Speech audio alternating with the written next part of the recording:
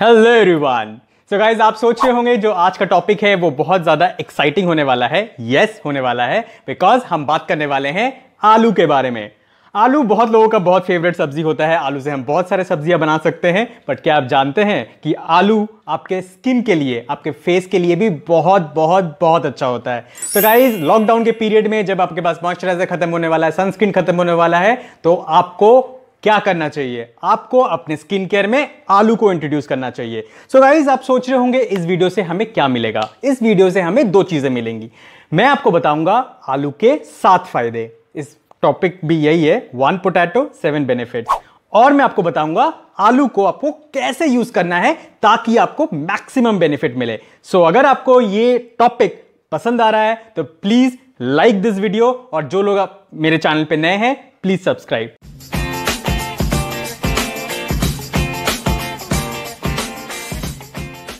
तो गाइस, सबसे पहले बेनिफिट्स सबसे पहला बेनिफिट होता है कैटकोलेज एंजाइम आलू में कैटकोलेज एंजाइम होता है, जिसके मदद से आपके डार्क स्पॉट्स और जो एक्ने मार्क और ब्लेमिशेस होते हैं, वो चले जाते हैं।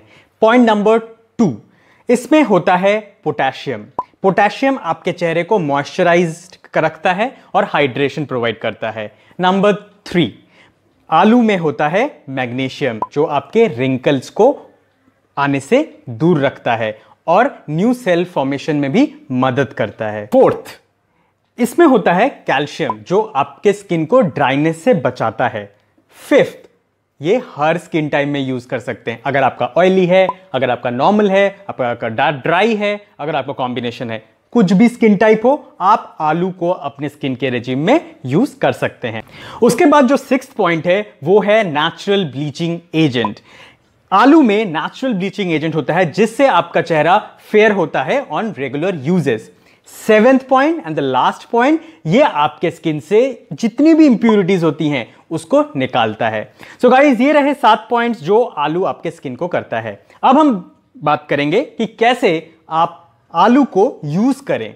तो I will give you three ways very simple ways in which you can use potatoes and get fantastic skin so guys step number one सबसे पहले आपको क्या करना है? एक आलू लेना है जो साफ़ हो, उसको अच्छे से धो लीजिएगा। और फ्रेश आलू हो तो बहुत बेटर है। ये आलू को मैंने यहाँ पे छील लिया है। ऐसे आपको छीलने के बाद इसको दो भाग में स्लाइस करना है।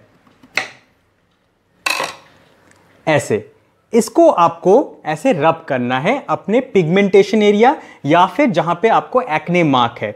ऐसे करके आपको सर्कुलर मोशन में मसाज करना है। फॉर टेन मिनट्स मान लो आपको यहाँ पे एक्ने है तो यहाँ पे आपको टेन मिनट्स तक ऐसे मसाज करना है। अगर आपको पिगमेंटेशन है, अगर आपको चेहरे पे बहुत ज़्यादा मार्क्स हैं तो आप पूरे चेहरे पे भी टेन मिनट्स तक मसाज कर सकते हो। ये हो गया डार्क स्पॉट्स को रिड्यूस करने के लिए।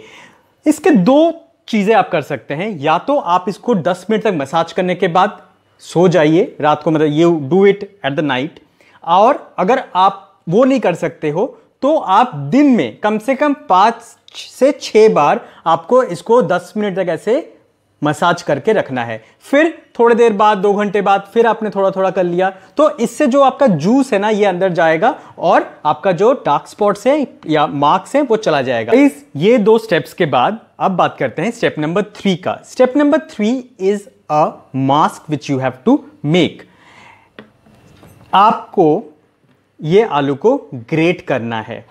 अच्छे से आप इसको एक में करके दिखा रहा हूँ आपको। ये आपको छोटे छोटे स्लाइसेस करने हैं इसके।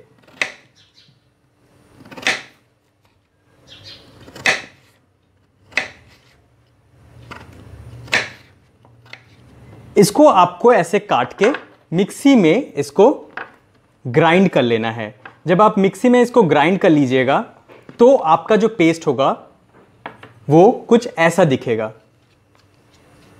ऐसा पेस्ट दिखेगा। इस पेस्ट को, इस पेस्ट को आपको हनी मिक्स करना है इसमें। एक चम्मच।